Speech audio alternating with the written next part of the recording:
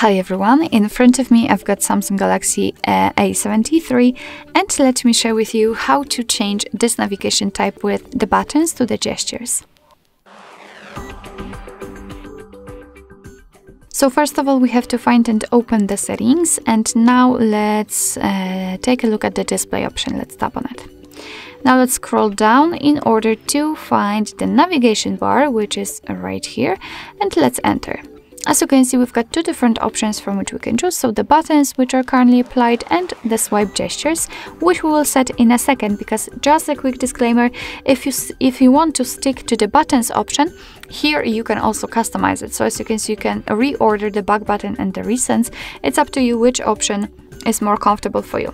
So in order to, to set the gestures, simply tap on this option. And as you can see, of course, here we've got this uh, kind of animation which will show us for uh, how to use the gestures, but no worries, every, uh, I will explain everything.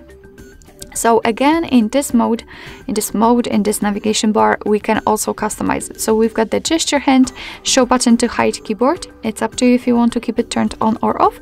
And we've got more options uh, here we've got the gesture sensitivity or swipe to open assistant app.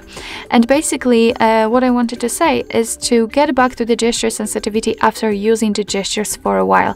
Because thanks to this you will actually know what you need if you want the gesture sensitivity to be lower or higher. Because as you can see we are changing this um, area of the blue color and we are changing the area of the screen which will be responsible for catching our gestures.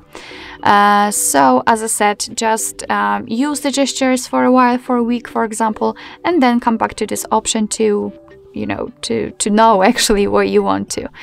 Um, all right so now let me show you how to use the gestures. So if you want to get back to the previous um, previous page just like by using the back button you have to swipe your finger from the uh, from the um, side to the center of your, of your device just like that until you will see this arrow. Now you can release it and we just got back. The same situation from the right side, it works the same.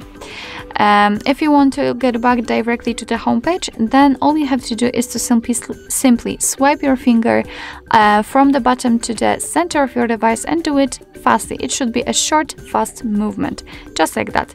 And as you can see, we've got the homepage. And in order to open the recent, the same situation, the same movement, but this time do it slowly and elongate it. So uh, hold your finger somewhere here, just like that.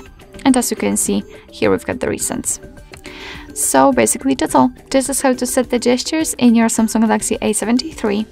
Thank you so much for watching. I hope that this video was helpful and if it was, please hit the subscribe button and leave the thumbs up.